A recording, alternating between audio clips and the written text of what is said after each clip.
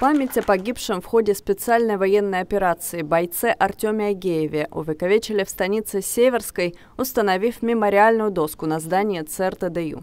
Именно отсюда Артем уходил на фронт, будучи педагогом театрального объединения. И сегодня в числе тех, кто пришел почтить его память, были школьники, для которых Артем – пример смелости и отваги. Подписав контракт с самого начала военных действий, он находился на передовой, служил старшим наводчиком на самоходной артиллерийской установке «Нона». После двух ранений снова возвращался на фронт. В октябре 2023 года в результате серьезного ранения головы Артем скончался в госпитале. Однако он и его подвиг навсегда останется в памяти всех, кто его знал, и, конечно, родных, присутствующих на мероприятии. Спасибо за то, что есть память то, что помните, хорошими словами вспоминаете. Есть выражение, да, быть воином, жить вечно. Это и про Артема тоже.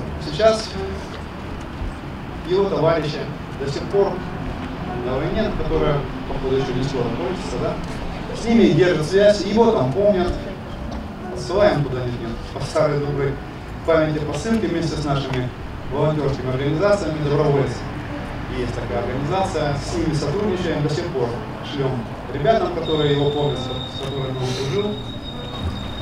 Вот. Ну, самое главное, большое спасибо, что есть хорошие слова, есть хорошая память.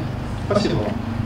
После торжественного открытия мемориальной доски участники мероприятия возложили цветы к мемориалу погибших воинов СВО в парке имени Пушкина. Имя Артема Агеева стоит там первым в ряду таких же героев, пожертвовавших жизнью ради страны и скорейшего установления мира.